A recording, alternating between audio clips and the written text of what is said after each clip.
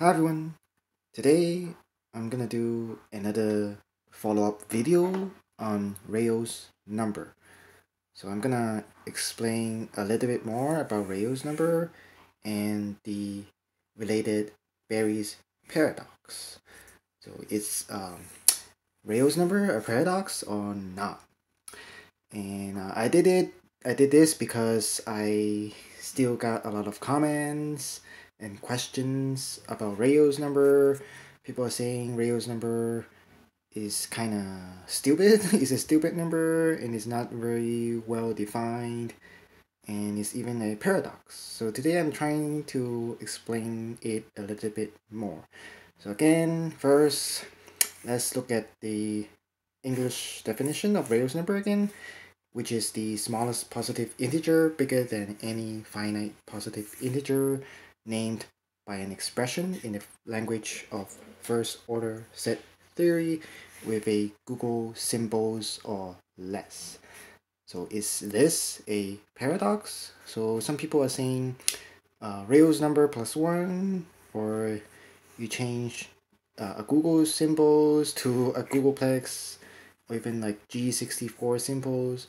These two will be bigger than Rayo's number and at the same time these two are obviously defined less with less than a googol symbol. So this is just a few symbols, like less than 20 symbols. So they're saying, oh, this is not, uh, this is a paradox. I mean, you can easily define a new number bigger than Rayo's number using just a few symbols. So what is it about? And now let's uh, take a quick look at the Berry's paradox. Um, so for example, you can define the number x as this. The smallest natural number greater than all ones definable and in at most 16 English words. However, this is a paradox because we just defined x using just 15 English words. So in this sentence, there are 15 English words.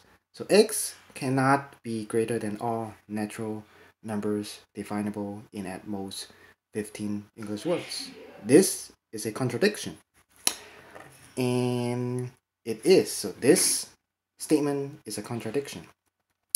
Because uh, this statement is saying x is the smallest natural number greater than all ones that is definable uh, with at most 16 English words, but here we just we just define x using 15 words.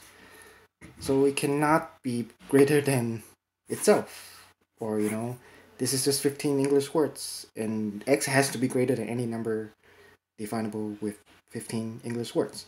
So this paradox came from the ambiguity of the word definable, and more importantly, the ambiguity of the English language itself. So Rayo's number is pretty, it's kind of similar in some sense. It's like, you know, uh, some people say, uh, you know, this definition is obviously less than a googol symbols. So you can just easily define, like change the uh, definition slightly and you can already get a greater number than Rayo's number.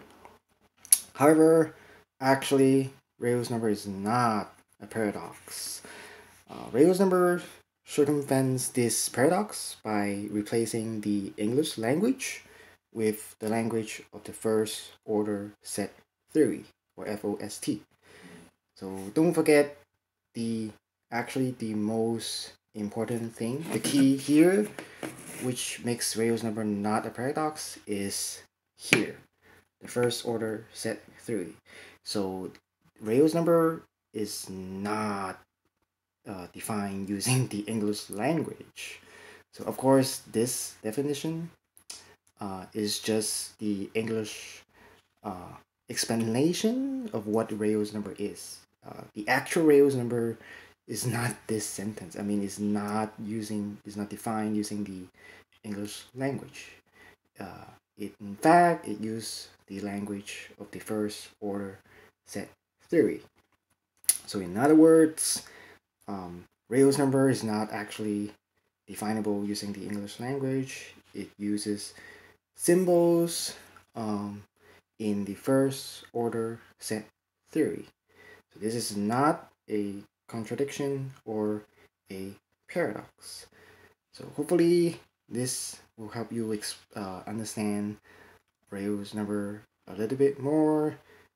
And thanks for watching and have a nice day.